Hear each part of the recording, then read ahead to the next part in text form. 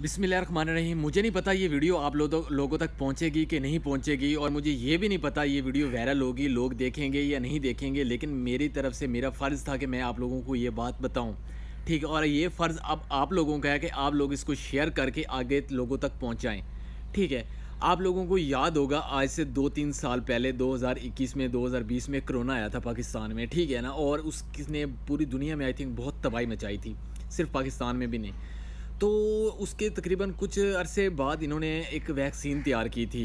एक वैक्सीन बनाई थी जो जिसकी वजह से जो कोरोना वैक्सीन के नाम से मतलब दो दो डोज़ लगाई जाती थी। ज़रा बात गौर से सुनिएगा क्योंकि आप लोगों के बहुत काम आने वाली है, ठीक है ना? इन्होंने एक वैक्सीन लगवाई थी जो हर इंसान को वैक्सीन लगनी थी कोरोना के बचाव के लिए।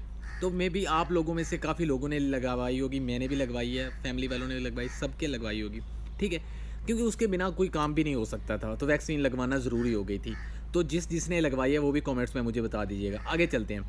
अगर वो जिन जिन लोगों ने वैक्सीन लगवाई थी तो वो एक ही वाक़ हमारे यहाँ पे पेश आया, हमारे महल्ले में। तो हुआ कुछ यूँ है कि वो तकरीबन वैक्सीन लगवाने के कुछ अरसे बाद उसको ना ख़ारिश होने लग गई है। मतलब कि उसको ना यहाँ ख़ारिश होने लग गई, यहाँ चस्त गर्दन, सर और मतलब उसको मुख्तलिफ़ जगहों पर ना ख़ारिश होने लग गई। तो ख़ारिश होने लगे, वो डॉक्टर के पास गया। डॉक्टर ने मतलब उसको तो जहन में भी नहीं था कि वो वैक्सीन कोरोना वाली उसने लगवाई है कोई इशू होगा, या नहीं। उनको नॉर्मल डॉक्टरों ने जो दवाई वगाई दी और वो वापस आ गया।